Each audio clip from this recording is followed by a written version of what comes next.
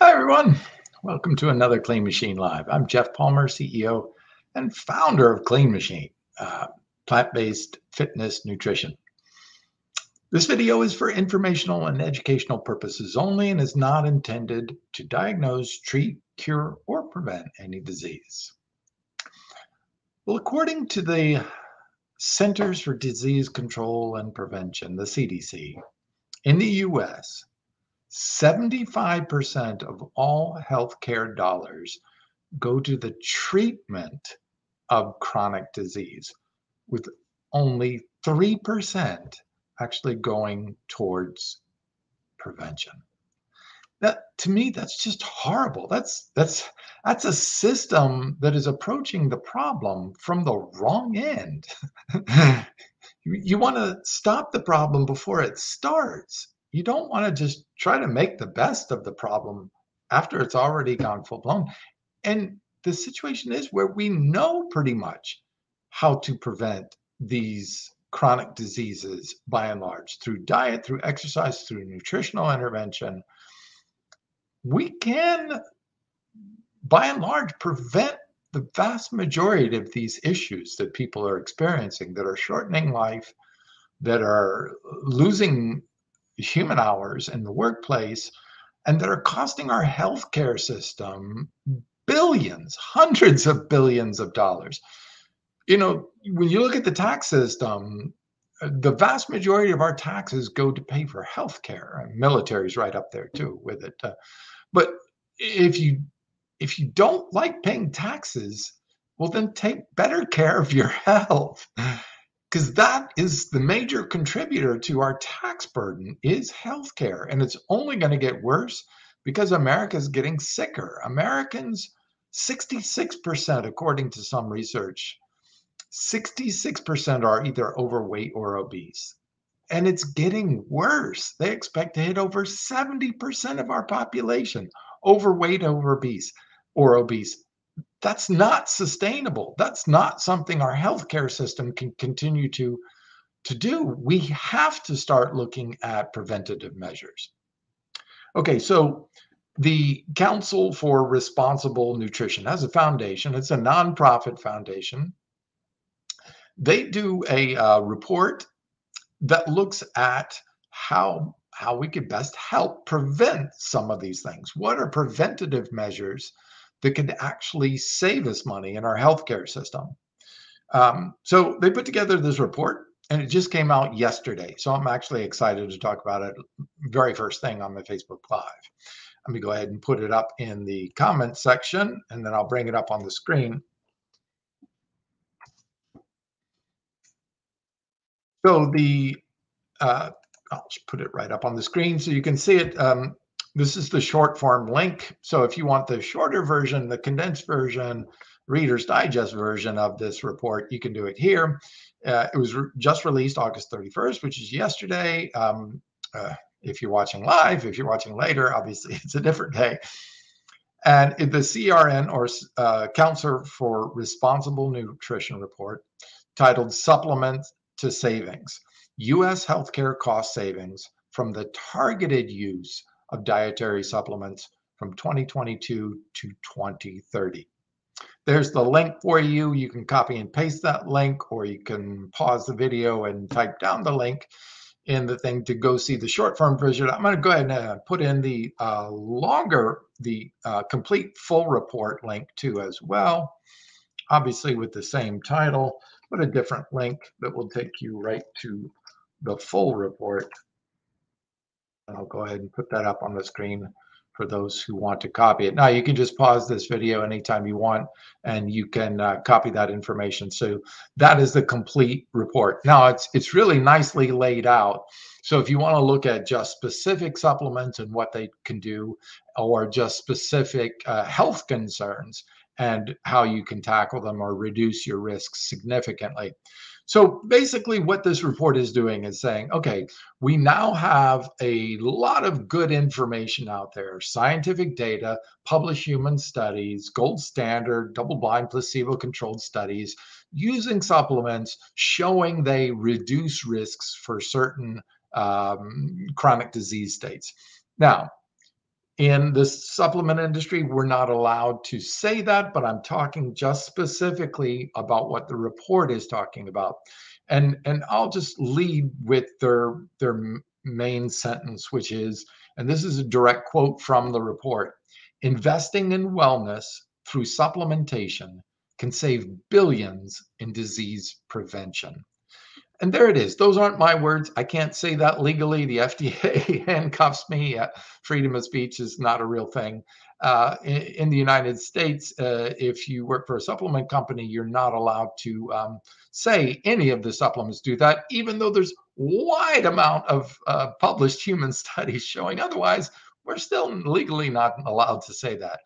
Doctors are, and people like the CRN are able to say that. Um, uh, and so I will just directly quote for them. So I'm not uh, infringing on any of the FDA requirements that says we can't say that uh, supplements uh, do anything for any chronic uh, disease state. But clearly, they put together an entire report of how different supplements can, through verified published human studies, reduce risk and what that reduced risk would mean in real dollars in healthcare savings. So let's take a look at uh, some of the supplements that are on the list. Um, uh, first, let me go ahead and, read the uh, opening statement. So, the CRN Foundation commissioned, and this is quotes again, uh, Frost and Sullivan for analysis of the potential healthcare cost savings that could be realized if certain at risk individuals were to use certain dietary supplements that have been shown to lower disease risk. In addition, the report examines evidence demonstrating how the use of specific dietary supplements can reduce the direct and indirect medical costs. Some of these are looking at actually the amount of hours that would be lost, work hours. So, our efficiency to produce products to produce services for other people, greatly impacting our very economy is affected by people being out sick, basically, or people missing work due to health challenges. Okay, so let's take a look at uh, some of the supplements that they targeted, since these were the ones that had the most and greatest effect on different healthcare ones. In the macronutrient section, that was the EFAs, which is omega 3. Obviously, we know there's a whole host of published human studies backing up efficacy of omega 3 for a variety of different uh, health promotions. Um, the other one is uh, soluble fiber, and I call it a macronutrient. I think fiber should be called a macronutrient. Most people consider the macronutrients as only uh, fatty acids or fats, carbs, and protein. I say fiber is too. What is a macronutrient and why is it called macro instead of micro? Micronutrients are stuff that you only need a small amount, like vitamins and milligrams or even micrograms or even nanograms. Um, a small amount, so micronutrients. Macronutrients are nutrients we need a lot of, like fats and carbs and protein. These are stuff that we consume a lot more of, measured in grams right? Um, or a larger amounts of uh, foods. So fiber is definitely in there. Fiber, we're, we should be getting around 20 grams of fiber per day or more, uh, depending on who you talk to. Uh, but 24 grams, I think, uh, I believe, is the adult uh, requirement for that. I think it should be higher than that. I personally uh, consume probably close to 100, sometimes over 100 grams of fiber per day.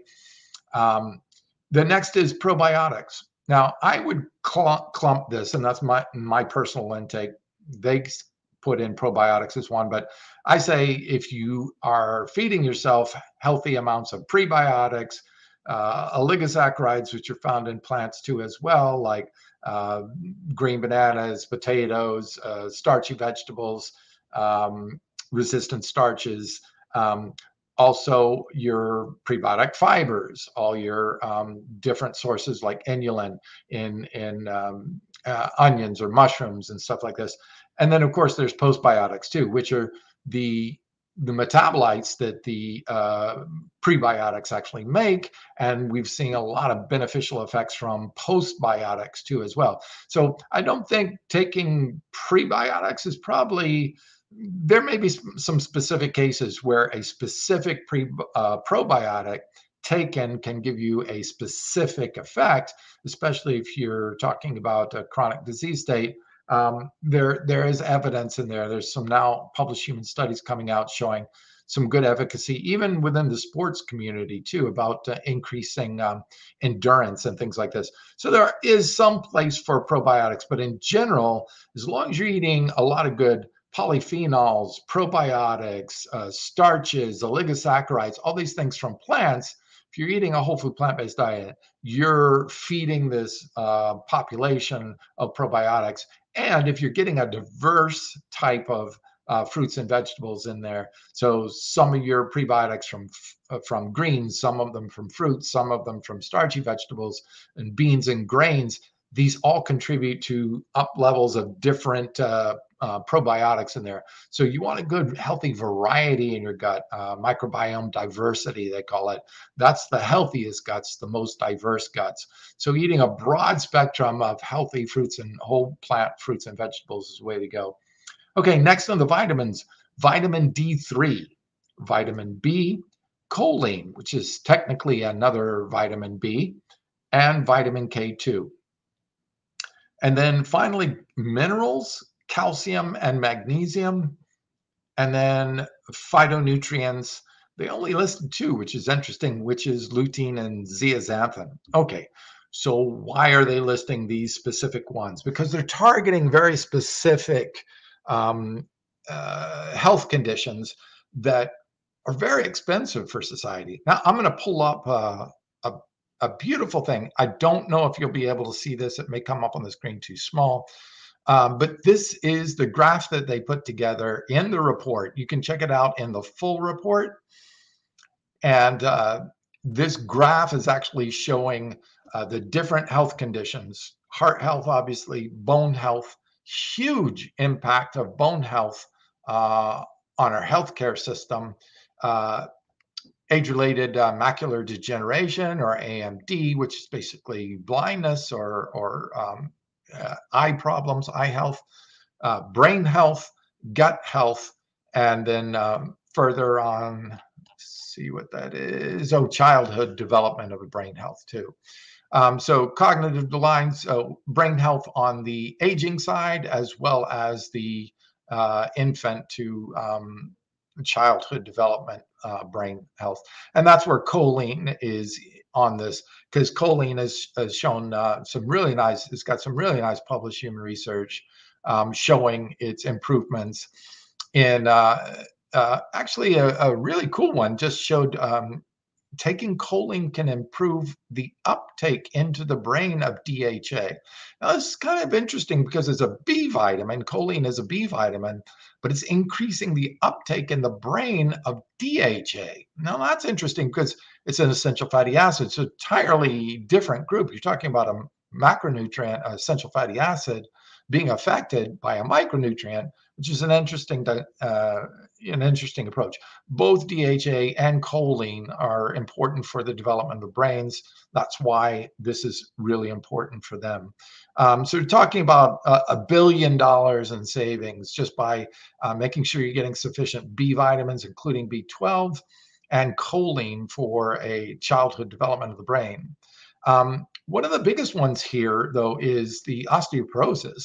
We're talking 155 billion dollars. I mean, uh, that that's pretty outstanding. I'm going to remove this report so you can see me talking, but uh, the impact of that and and the uh, relative risk reduction with proper supplementation, vitamin D, vitamin K, calcium, these three big important supplementations. Now, it is possible to get them through your diet, but obviously with vitamin D3 supplementation is really important because normally vitamin D3 is gotten by sun exposure. Vitamin D3 is actually erroneously named. It's not a it's not a vitamin at all. It's actually a hormone. So it should be called hormone D3. But D3 is generated in our bodies, is produced in our bodies as a reaction from sunlight. Um, so we're not in sun. We're like me, I'm sitting inside indoors most of the time in the workplace or at home or you know uh, in in a building even if we're going in entertainment like a movie or a restaurant we're inside we're not getting that direct sunlight like most of the other animals on this planet do in nature. And we're sufficient insufficient in vitamin d3 almost 90% of uh, the people that have been tested are are found to be insufficient for uh, vitamin D3, and and a big chunk of those uh, actually deficient, which is where you can can actually run into real true health problems of vitamin D3. So simple thing, just to take a vitamin D3 supplement. Uh, I was the first to come out with this, uh, the original organic, the only organic, pure vitamin D3 from organic algae.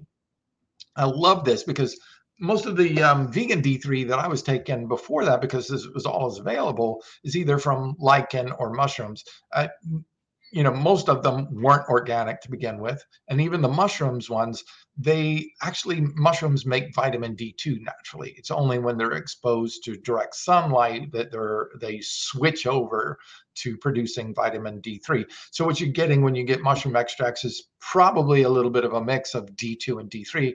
And D2 has been shown to interfere uh, and possibly reduce the benefits of vitamin D3. So I wasn't a big fan, but it was the only vegan D3s available out there until this one. Um, this is the first one that's 100% pure vitamin D3. So you're not getting any as impurities like uh, vitamin D2, like you might find in lichen and mushrooms. And it's certified organic, third party certified organic which is awesome too as well. So it's vegan, certified organic, and 100% pure D3, no impurities like you might find in other uh, forms of um, vitamin D3 that are vegan. So that's why I wanted to put that out there. Obviously, omega 3 has a huge impact on brain, eyes, gut health. Even now, we're seeing that uh, uh, vitamin uh, omega D3 actually can be metabolized in the gut partially and form some amazing metabolites that are some really cool studies come out. I won't talk about them yet until they're released. I'm I'm working with a couple of uh, researchers on this, and there's going to be some really interesting metabolites of of omega 3 that we're just learning about that maybe have some really important health effects.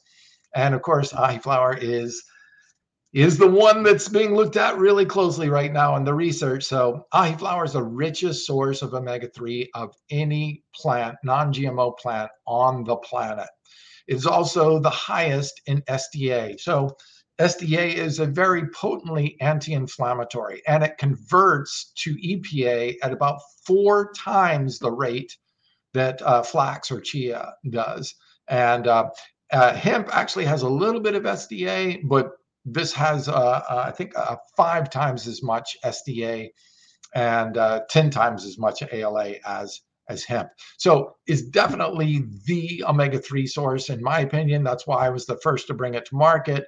It's why it won the Nexty Award for the best supplement of the year. That's the top supplement of the year in, in there. So you're looking at um, some of these other things. So let's go down the list. All right. So omega 3, Ahiflower, um, omega 3 looking for coronary artery heart disease. Um, they're, they're showing that anywhere from 4 to, to 16% basically in the graph reduction. That reduction could uh, uh, affect up to 300,000 people in America alone. 300,000 people. Just if everyone took an omega 3 supplement, we could have 300,000 potentially less avoidable medical events happening in the United States. That's a huge impact over taking an inexpensive supplement. This is amazing. And this is a third party nonprofit report um, put together on the impact of simply taking specific supplements that have clinical backing, published human studies backing up their effectiveness the rates of effectiveness at reducing risk for health and then compounding that as as far as how many people it could actually benefit and the overall cost saving over 83 billion dollars just by an omega 3 supplement. I mean, uh, these add up. When you look at uh, osteoporosis, if you're taking uh, uh, vitamin D3, uh, calcium, magnesium, and vitamin K2. So let's look at clean green protein. All right, clean green protein has 23% of your magnesium in it. Boom, tick one has 20% of your um, calcium in it. Boom, tick two. And your vitamin K 1174% of your DV of vitamin K. So, what is vitamin K? So, vitamin K1 is what's found in clean green protein, it's what's found in most of your dark green veggies. Plants mostly produce vitamin K2. Now, when you ferment vitamin K2, it turns vitamin K1, I'm sorry, it can convert to vitamin K2. Guess what our microbiome is? Yeah, it's a giant fermentation tank. So um, the supplement companies out there that are producing vitamin K2, how do they do it? Well, they take they take soy, right? Soybeans high in vitamin K1, and then they feed it to bacteria, same bacteria that are in our gut. And what happens? They ferment that soy outside the human body until that K1 is converted to vitamin K2 well, why not just eat the vitamin K1? Let your own fermentation do the work and get all the vitamin K2 that your body needs. Now, you can get tested for vitamin K2. And so you can get tested for all these macro and micronutrients to see if you're in the right levels, to see if your body is sufficiently doing that. Vitamin K2 helps with the uh, uptake of um, calcium into the bones and helps strengthen the bones. It builds the osteocalcin, which does the bridge work, framework, all that webbing inside of our bones. That's what makes our bones strong and keeps them healthy and prevents them from breaking. Um, so that alone could save 155 billion just by taking those couple of couple of supplements. Hey, you're getting almost all of them right here in a single scoop of clean green protein. Um, so you know you're talking about 361,000 medical events avoided just by simply meeting those key nutrients. And, and the problem is, hey, look, we're just not getting them in our food supply. Unfortunately, our food supply has been processed. It's been monocropped. Monocrop is where they grow the same crop in the same ground, and it just keeps depleting and depleting and depleting the soil, and they don't build back up the soil. All they do is throw cheap fertilizer on there so the plant can survive and grow and then get you. But what that does is mean, yes, the fertilizer will give it nitrogen, and that nitrogen will allow the plant to grow and look pretty, nice and green or reds or blues or all the nice, pretty colors. But it won't be nutrient rich because you've depleted the soil where all these calcium and magnesium and your minerals are all coming from. Um, so we're we're squeezing the soil for its nutrients and not replenishing them in a healthy way, and we need to do that. By biodynamic farming is the way to go. We're still a long way from that. Um, so supplementation until we start reversing and changing our own uh, farming practices, so we re-enrich our soils so that we have healthy, rich soils uh, full of fungi, full of bacteria, full of uh, micronutrients and vitamins and minerals that can be absorbed right through the root systems. That will make our food rich and nutritious like it used to be uh, way back in the day when we were either wild harvesting or farming different crops and replenishing the soil and letting the crops die and just plow them right into the soil and refeed the nutrition back to the soil, um, allowing the fungi and the bacteria to to to to chew up all these things and make them bioavailable for the plants. Right now, we're playing pesticides, fungicides, herbicides, bactericides, suicide. yes, suicide. That's what's happening. We're committing suicide through our own nutrition by wiping out the nutrition, wiping out the beneficial bacteria in the soil. Soil health is going to be a key issue going forward. So until then, eat as nutritious as you can, eat as many plants as you can, but check your nutrient levels. If they're not there, supplement. Don't just say, hey, wait a minute, I'm eating healthy. That's not how the human body works. It doesn't say, okay, you're eating healthy, good, we're good then. No, it works on whether you're putting in enough nutrients or not. And if you're not, and just thinking you are, you're putting yourself at risk. And we can see by this amazing chart, the risk is pretty tremendous. We're talking billions and billions of dollars and hundreds of thousands of people, um, you know, just could completely avoid situations by simply taking a few of these specific supplements. This the it's a long read on the long form, but for those of you who really want to get interested in the research and why supplements can be such an advantage to you and prevent some things. Um, so uh, I got a question here. I'll go ahead and put it up on the screen. Should vitamin K be taken with vitamin D? Thanks. Okay. Um, so the I, am going to preempt that question, which is should vitamin K be taken at all? Well, you can get your levels tested to see if you are insufficient in vitamin K2. Vitamin K2 is the one you want. Our body uses both vitamin K1 and vitamin K2.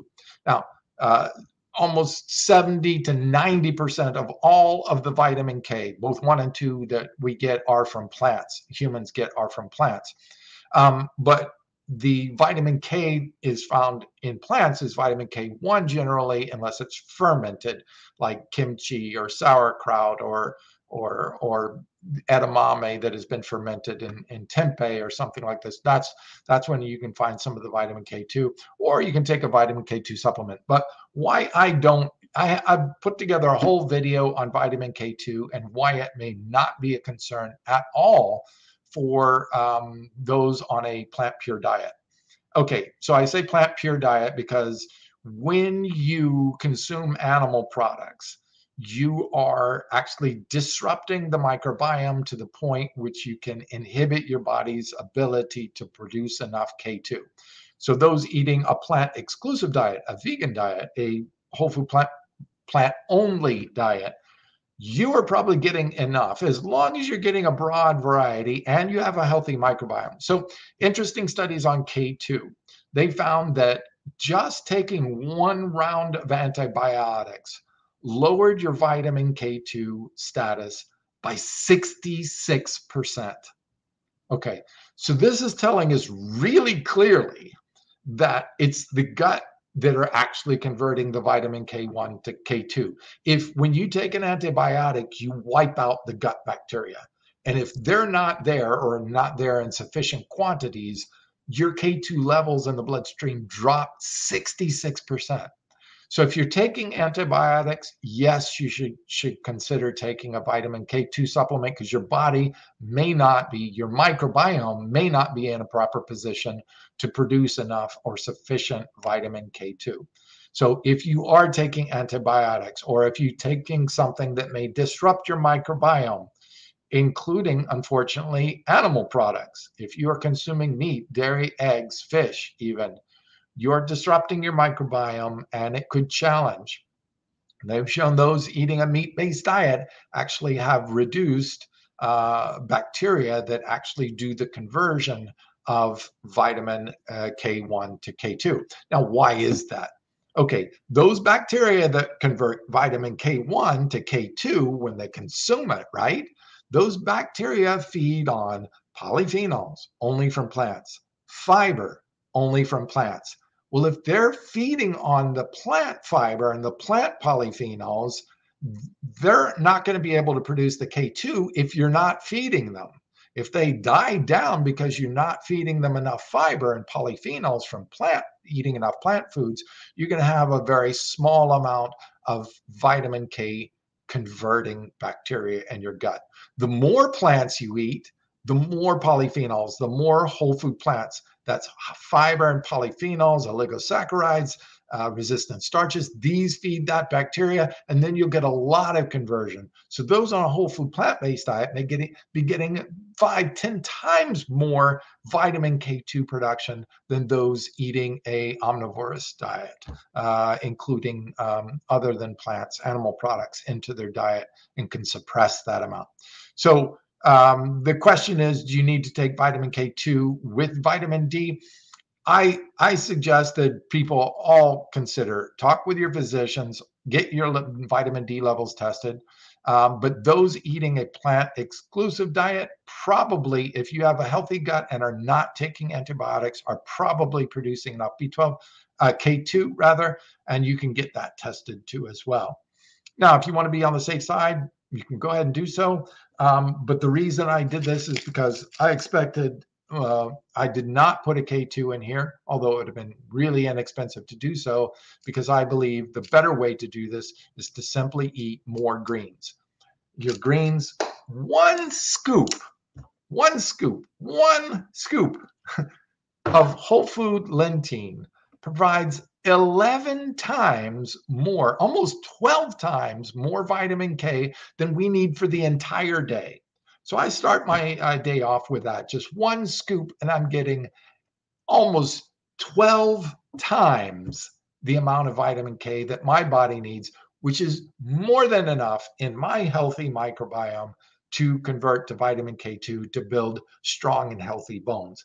That's why I can push 400, you know, 50 pounds uh, in a de- decline bench press at, at, almost the age of 60, just five months away from 60, I can do that. And my bones are healthy and strong. That's vitamin K2. There's, I go into it uh, in more depth in my uh, video on K2. Go to Clean Machine Online uh, YouTube and you can just check out our type in a vitamin K2 and you can see it there. I go into deep dive in why uh, those eating a plant pure diet, a vegan diet, uh, probably uh, as long as you're not taking antibiotics, you're probably getting far enough uh, vitamin K2. So just these three supplements, you getting your B12, getting your magnesium, getting your calcium. Remember, clean green protein, this is actually from whole food plant source. The lentine, all these nutrients are coming from a whole food source. So you're getting actually real whole food in there too as well. The richest source of omega-3 on the planet and the only 100% pure organic D3 from algae. So there you go. Save some money, save the economy, save our healthcare system by simply making sure you're getting sufficient amounts of these nutrients into your diet. And you're going to be better off. You're going to prevent some major, uh, well, according to this study, let me say it this way according to this report, there is a significant amount, and I'll just read it verbatim so I don't get myself in trouble with the FDA again. Uh, I'll read it uh, verbatim as a quote Investing in wellness through supplementation can save billions in disease prevention. End quote. So I hope you enjoyed this in video. Please take it seriously. I realize there are people out there who want to do it completely natural, whole food. I applaud you for that. But be honest with yourself. If you are tested and you are not getting it through your diet, either change your diet to include these on a regular basis or supplement to safeguard so that you are getting that. Don't get so tied into your own personal dogma that no, I'm not going to take supplements. Supplements are bad. Stop with that. They they're clinically proven in multiple human studies. Uh, giant CRN report showing their risk reduction and backed by human studies. So, you know, come on, let's let's stop with the the dogma and and let's talk about real nutrition, real health because your body doesn't respond to what you think you're getting in nutrition. It responds to what goes into your mouth as far as nutrition. So make sure you're getting enough either through the food or through supplementation or both like I do. I'm whole food plant based for vast majority of my food, but I supplement to make sure that I'm getting the best out of life, be the strongest and healthiest even at my age at almost 60 years of age and enjoy the hell out of life while I can. So I hope you enjoyed this one. Share if you can, give it a thumbs up, like us on uh, YouTube, uh, or subscribe to as well so you can catch all these good videos. I am bringing you this uh, report a day after it came out. So you'll always uh, find me combing the, the resources out there to bring you the best information, like this wonderful healthcare cost savings report from this the Council for Responsible Nutrition. And I believe in that too. responsible nutrition. Not all supplements work. Not all supplements are made by good supplement companies. And that's why I'm out there. Why I name my company Clean Machine is to offer something better that is truly backed by published human studies and will promote health as well as fitness benefits. Here's to your health. Enjoy the day, have fun, and be healthy.